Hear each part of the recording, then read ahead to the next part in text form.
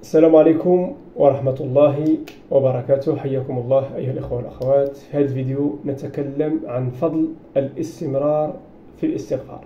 فتعطونا لايك إخواني وإذا كنت أول مرة تشاهد القناة نتمنى منك الاشتراك ويلا نبدأ إخواني وأخواتي لا شك أن الاستغفار مأمور به لقول الله سبحانه وتعالى واستغفر الله. ولا يلزم ولا يعني يجب أن تكون قد وقعت في المعاصي لكي تكثر من الاستغفار.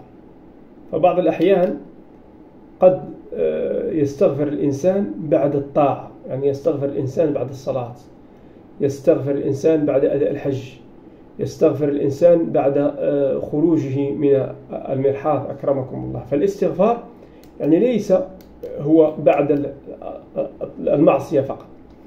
ثم أن الإنسان يعني بعض المرات قد يخطئ ويقع في معصية وهو غير منتبه أنه قد وقع في تلك المعصية.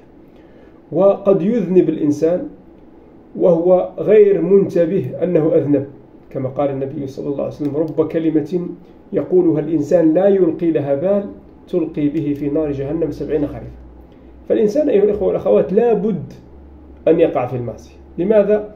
لأن الإنسان من طبعه الإنسان أيها الإخوة والأخوات يعني كتب الله عز وجل عليه العصيان وكتب عليه الخطأ لأن أبونا آدم أخطأ فكل بني آدم خطأ فلماذا الإنسان يترك الاستغفار؟ الإنسان يستمر في الاستغفار ويستغفر الله عز وجل في جميع أحواله وفي جميع آه، حالاته إذا فالاستغفار يا إخواني ويا أخواتي هو عبادة جميلة جدا. عبادة عظيمة جدا تفعل دائما وباستمرار. ولذلك نجد أن النبي صلى الله عليه وسلم قد قال طوبى. طوبى يقال أنها شجرة في الجنة. قال طوبى لمن وجد في صحيفته استغفارا كثيرا. يعني يا فرحة من وجد في صحيفته استغفارا كثيرا. وكذلك قال النبي صلى الله عليه وسلم لأمنا عائشة رضي الله عنها وعن أبيها والقصة المعروفة اللي هي قصة الإفك لما دخل عليها النبي صلى الله عليه وسلم قال يا عائشة إن كنت ألممت بذنب فاستغفر الله. فإن التوبة من من الذنب فإن التوبة من الذنب الندم والاستغفار. يعني ما هي التوبة من الذنب؟ هي الندم أنك تندم على ذلك الذنب ثم تكثر ثم تكثر من الاستغفار. فإذا فعل الإنسان معصية استغفر. يستغفر سواء آه، لو سواء لم يقترف المعصية أو اقترف المعصية. ولذلك ثبت عن النبي صلى الله عليه وسلم أنه كان يستغفر دائما صلى الله عليه وسلم. وقد روى الإمام أحمد رحمه الله آه، أن حذيفة رضي الله عنه وأرضاه قال يا رسول الله إني ذارب اللسان وإن عامة ذلك على أهلي. يعني يا رسول الله إني في آه، شدة في لساني وفي إيذاء في لساني وعامة ما, ما أتلفظ به هو على أهلي فماذا أفعل؟ يعني هذا حذيفة بن اليمان رضي الله عنه قال للنبي صلى الله عليه وسلم يا رسول الله إني ذرب اللسان يعني يتكلم كثيرا بنوع من الغلظة مع أهله مع زوجته ومع أولاده فماذا أفعل؟ فقال له النبي صلى الله عليه وسلم أين أنت من الاستغفار إني لأستغفر الله في اليوم والليلة مئة مرة يعني قال له النبي صلى الله عليه وسلم لابد أنك تكثر من الاستغفار وأنا مع أني نبي معصوم إني أستغفر الله في اليوم والليلة مئة مرة صلى الله عليه وسلم.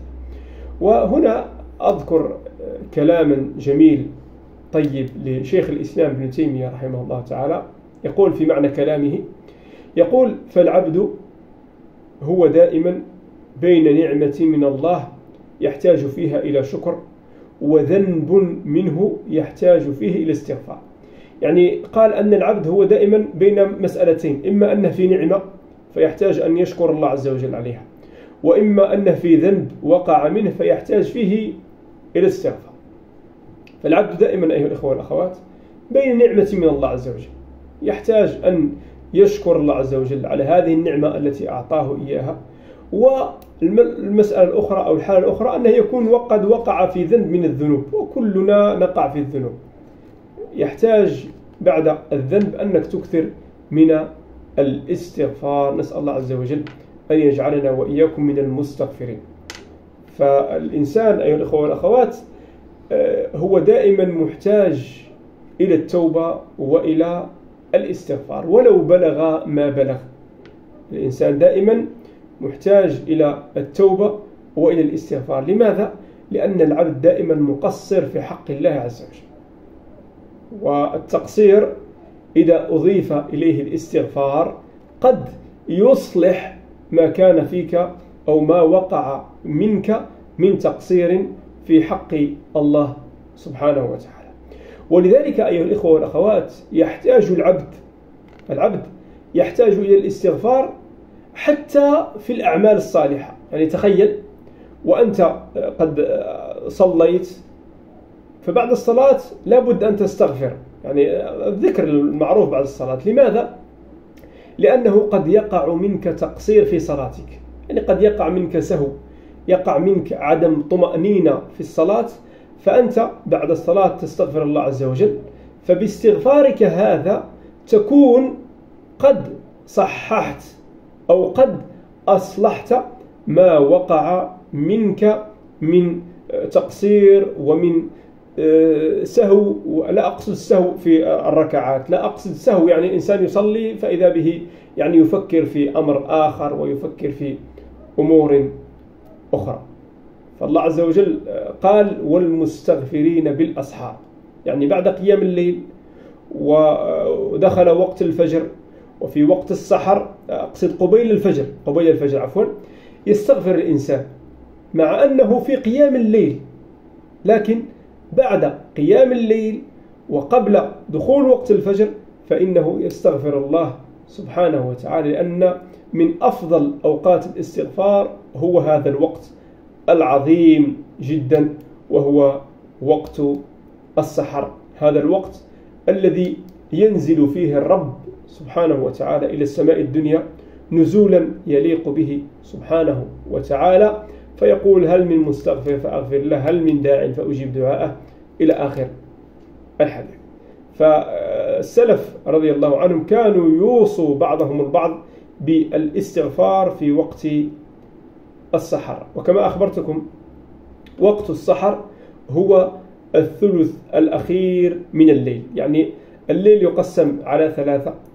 الثلث الأخير من هذا الليل هو وقت السحر وهو الوقت الذي يستحب والذي مدح الله سبحانه وتعالى فيه آه، المستغفرين. نسأل الله عز وجل أن يجعلني وإياكم من أهل الاستغفار ويجعلني وإياكم من أهل الطاعة ومن أهل التوبة ومن أهل المغفرة ومن أهل الرحمة. إنه ولي ذلك والقادر عليه. فالإنسان أيها الأخوة والأخوات لا يمل أبدا ولا يقنط أبدا من الاستغفار. يستغفر الله عز وجل فإن بالاستغفار يعني تمحى عنك الخطايا ويبعد الله عز وجل عنك بالاستغفار يبعد عنك الخطايا ويبعد عنك آه، أساليب ووساوس إبليس التي تجرك إلى المعصية جرا جرا. وبالاستغفار كذلك أيها الإخوة والأخوات يعطي الله سبحانه وتعالى لعباده ما يريدون من أمور الدنيا ومن أمور الآخرة.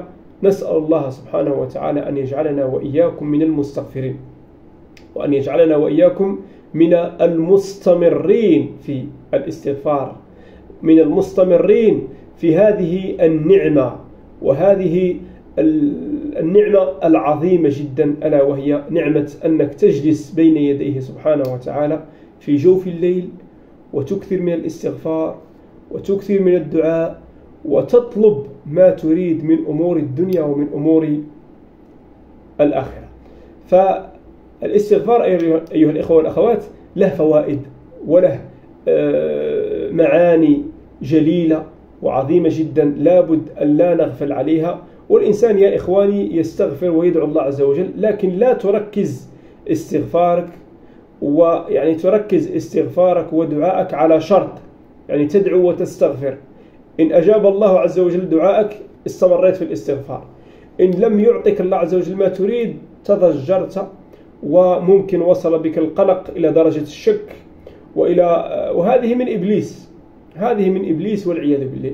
إبليس يريدك أن يدخلك الشك وتدخلك الوسوسة وتبدأ تشك لماذا أنا أدعو؟ لعلي لعلي لست مستجاب الدعوة لعل الله لن يجيب دعائي وهذا من إبليس يريد أن يحبطك يريد أن يدخل الإحباط إلى قلبك.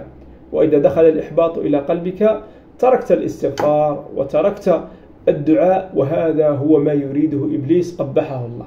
الله عز وجل يريد منا أن نتقرب إليه. يريد منا سبحانه وتعالى أن ندعوه في السر والعلن ندعوه في النهار وفي الليل وفي جوف الليل وفي منتصف النهار ندعوه في كل وقت سبحانه وتعالى. الله عز وجل يحب منا أن نرفع إليه حاجتنا. يا أخي الكريم تخيل أن الصحابة رضي الله عنهم التابعين رحمهم الله تعالى كان إذا أحدهم يعني آه، يعني أراد الملح تخيل إذا أراد الملح آه، لمائدته أو لأكله دعا الله عز وجل.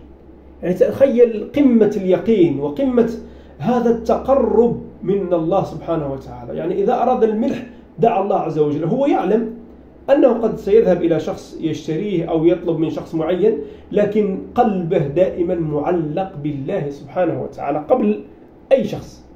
يعني قلبه معلق بالله سبحانه وتعالى. إلى هنا أيها الإخوة والأخوات لعلي آه، قد أختم هذا الفيديو. إلى فيديو قادم إن شاء الله تعالى. وصلى الله وسلم وبارك على نبينا محمد. السلام عليكم ورحمة الله وبركاته.